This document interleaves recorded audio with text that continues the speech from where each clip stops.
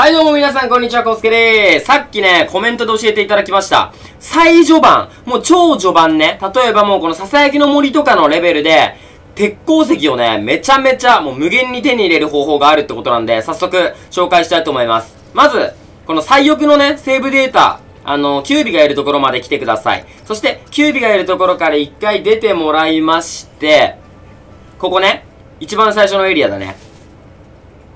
で、ここ。ここにある鉱石を、まず、あー、ミスったミスった。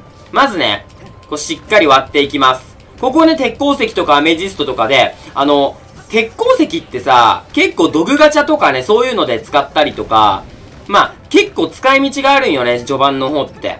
まあ、後半の方もね、何、何かしらあったら使うから、あの、テリーガチャとか色々ね、その、キャラクターに渡す、ちょっとそういうのもあってね。で、ここ。で、これ全部取るやん。あー、取れない。なぜ？で、こうやって取って、取って、取って、取って、はい。で、これなくなるやん。で、ルーンポイントの花もこう一応切っておくと。ルーンポイント回復できる。で、一旦さっきのところに戻ります。で、本来だったら、1日1回しかね、その、鉄鉱石とか、ああいうのって取れないはずなんですが、ここで、一旦、セーブしてもらいます。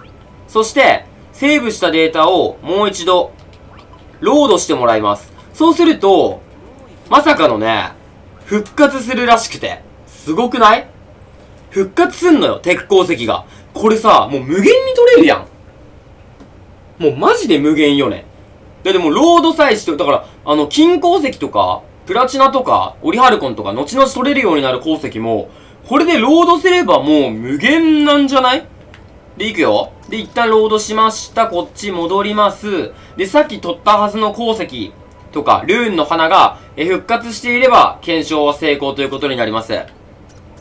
素晴らしい。お前も鬼にならないか？っていう感じなんでね、今回は、その鉄鉱石超序盤で一番効率よく取れるエリアの紹介でした。皆さん、これね、他のエリアでも応用できると思うんで、ぜひやってみてください。それでは、さよなら。